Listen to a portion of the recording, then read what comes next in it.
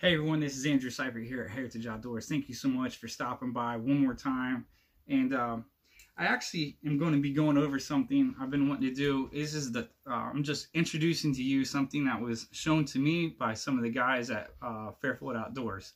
Um, this guy has traveled the U.S. He's been sponsored by Mathews. Um, he's a great shooter, absolutely phenomenal shooter. Um, one of the top guys at that archery range, and I have complete respect for this guy. He introduced to me uh, the 21 day challenge. It's not a push up challenge or anything like that, but he's you might have seen in my previous reel uh, making fun of the hinge release and everything. This this uh, doodad, and here I am. I knotted the string. Okay, so here I have a dowel rod and the string with the loop on it. This was customized uh, by me. I, I made this specifically for me in my draw length. So it's called a drawstring. Yeah, so basically the dowel rod simulates the, the grip on the bow, you know, how I'm holding the bow. And I come back, that's my anchor point, and then I can just focus on following through with the shot. And that one hung up a little bit, but um,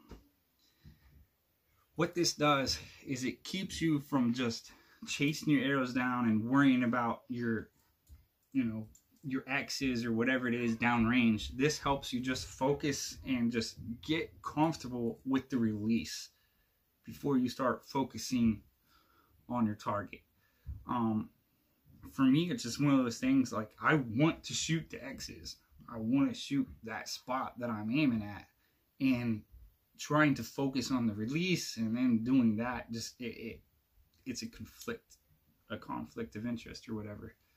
So this is one of those things i've been trying to do um 21 days.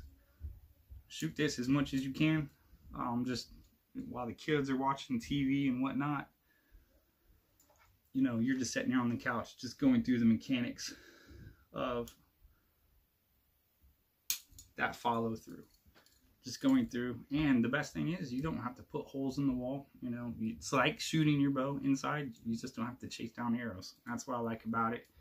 Um, and that is one thing you can do when it comes to getting some practice reps in for a hinge release. I will say, when I am shooting this correctly, I do shoot uh, I do shoot a lot more accurate than I am with the trigger. I don't understand it but that's I'm seeing it. I log all my shots. I log the scores and everything. I keep a little small journal, and that's something I've noticed about me personally. Is the hinge release for everyone? That's a personal preference. Thumb release, trigger release, fingers. Um, those are personal preferences. This is just another tool that you can use to help you in your journey to become a better and a more consistent archer and uh, that's just something that I just wanted to share that with you guys. What you can do, this is, again, this is the drawstring. Um, that's what Bill Ruck at Fairfield Outdoors, that's what he uh, shared with me. He's a great guy, lights out shooter. Um, he's been sponsored by Mathews. He's traveled the U.S. shooting for Mathews. He's he's a great guy, and when people that are they have that reputation and they suggest doing something like this and that's what's helped them.